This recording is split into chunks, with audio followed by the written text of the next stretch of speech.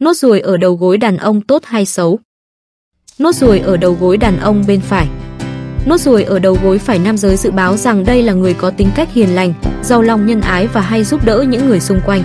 Họ cũng là những người ăn nói chân thật, không giả dối cũng không phô trương hoa mỹ, phong khoáng và sởi lời.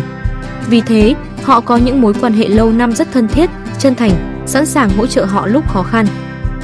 Về sự nghiệp và tình duyên, đàn ông có nốt ruồi ở đầu gối bên phải thường có công việc ổn định, khả năng kiếm tiền rất vững chắc.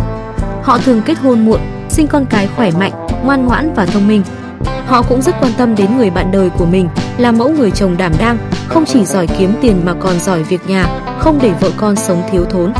Đời sống của mẫu người đàn ông này êm ấm, yên ổn, có trách nhiệm với gia đình. Nốt ruồi ở đầu gối đàn ông bên trái. Những người đàn ông sở hữu nốt ruồi ở vị trí đầu gối bên trái là những người có lập trường vững vàng, tư duy mạnh mẽ và kiên định. Họ là người sống có mục đích và lý tưởng chứ không hề hời hợt. Họ luôn nỗ lực hết mình trong học hỏi và làm việc. Nếu biết quan tâm đến nhiều quan điểm khác khi làm việc, tổng hợp và chất lọc chúng thì người này sẽ có nhiều quyết định sáng suốt và thành công hơn. Trong tình duyên và gia đình, đàn ông có nốt ruồi đầu gối bên trái là người sống vì người khác, trao đi những điều tốt đẹp. Họ luôn hy sinh bản thân, cảm thông, trách nhiệm và luôn muốn chia sẻ mà không cần sự báo đáp. Vì thế, họ được nhiều người xung quanh trân trọng và yêu quý.